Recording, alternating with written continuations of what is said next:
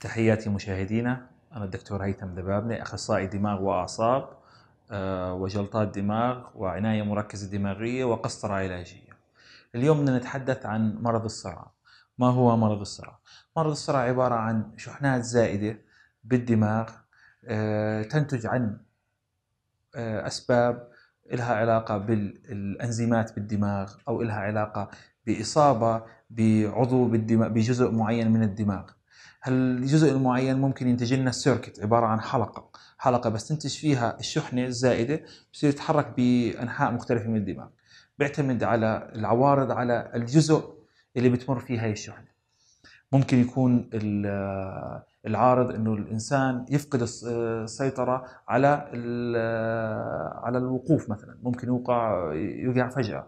ممكن يصير عنده شحنات تأثر على الحركة بسموها tonic clonic seizures أو epilepsy بصير يتحرك ويشد إيده يتحرك ويشد. في عندك عندنا عوارض أخرى لها دخل ب خصوصا بالأطفال. ممكن تأثر على تركيز الشخص. يكون قاعد الشخص مع مع مع المعلم أو مع أي شخص وبسرح بتلاقي وهو سرحان بيطلع فيك وبيحرك عيونه بسرعة أو بصير يرمش بسرعة. بس بيرجع معك هاي بتضلها حوالي 10 ثواني. بعدين بعد ال 10 ثواني بيرجع طبيعي وبيرجع معك من الموضوع بس فاقد هذا الجزء ال 10 ثواني مش مش مسجل ولا معلومة منه. هاي ممكن تأثر على الأطفال خصوصا باستيعابهم بالمدارس وتحصيلهم العلمي.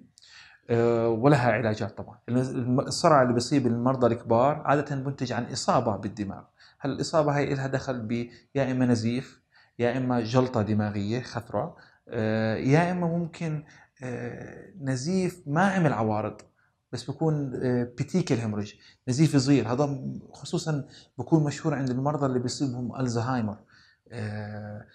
بكون عندهم مشاكل ب amyloid angiopathy هذا ممكن يؤدي إلى شحنات زائدة بالمستقبل. عند هذه المرضى.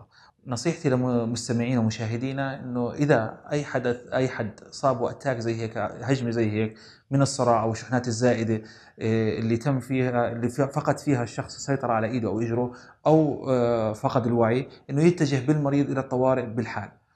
وما يستثني هاي الموضوع ويحكي خلص طاب المريض ما هو بعد عشر دقائق رجع لطبيعته أو نص ساعة أو ساعة إنه ما يراجع طبيب فيها مختص. وبتمنى سلامة الجميع وشكرا لكم.